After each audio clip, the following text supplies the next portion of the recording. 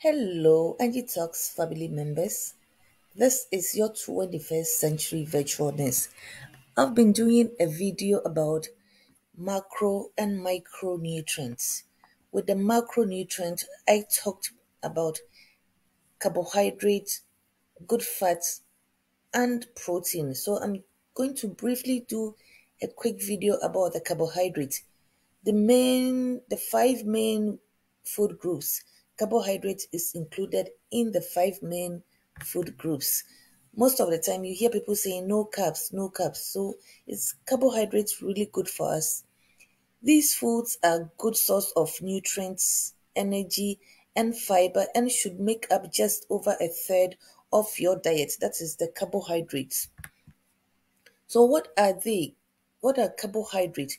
Carbohydrates are sugars that come in two forms, simple and complex, and they are simply they, they are simply referred to as sugars and starches. That is what it is. And then what do they do? As one of the five main food groups, they provide our bodies with energy, that is calories to function. The five main food groups are fats, good fat, protein, carbohydrates, minerals, and vitamins. I will do a video on all of those. We need them in our balanced diet. Dietary, uh, dietary sources. The simple carbohydrates are fructose, that is fruit sugar, sucrose, table sugar, lactose, milk sugar, and glucose, and then sweets and sugary pulp. And then the complex are the starch, starchy, that is bread, flour, rice, pasta, potatoes, corn, breakfast, cereals, and the like. And then they are high source of calcium, iron, and B12, B12 as well. What's the difference between simple and complex carbohydrates? The difference is in how fast it's it is digest and absorbed. So when you eat empty carbohydrate, that is the simple one, it absorbs quickly and it raises your blood sugar. That's what I'm talking about when I talked about the blood sugar roller coaster, which I have a lot of videos to make. And then another difference is their chemical structures. The simple and the complex chemical structures. That's the difference. How much should I be consuming?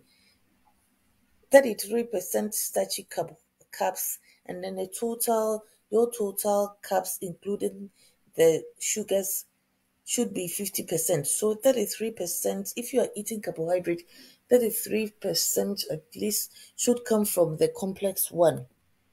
That is, it steadily absorbs in your blood sugar and keeps your blood sugar balance. It doesn't shoot it, absorb so quickly and then give you a crash later. Unused carbohydrates, when you overdo it, you eat too much carbohydrates, like the simple ones, it's your body doesn't use it. though it's used what it needs, and the rest, well the ones, the remaining that is not needed, it's it's called unused. So unused carbohydrate is stored in the liver and muscles. Remember, carbohydrates' main function in the body is to provide energy.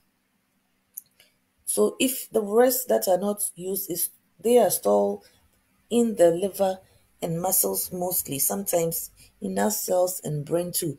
The excess carbohydrate, when full, is stored as fats. That's why when you want to lose weight, you have to check your the quantity of food you eat.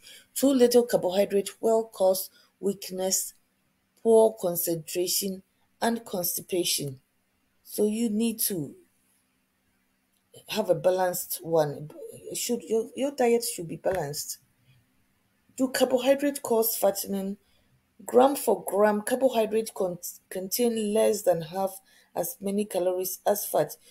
The cooking methods affect the calorie content of carbohydrate foods, similar to adding fats and oils to taste. So it depends on how much you take the gram for gram and how you cook it, your method of cooking. So do so do not anybody tell you carbohydrates are bad for us. This is Angie, your 21st century virtual nurse, and the page name is Angie Talks on Facebook and Angie Talks One TV on YouTube. Have a lovely day, family. See you again.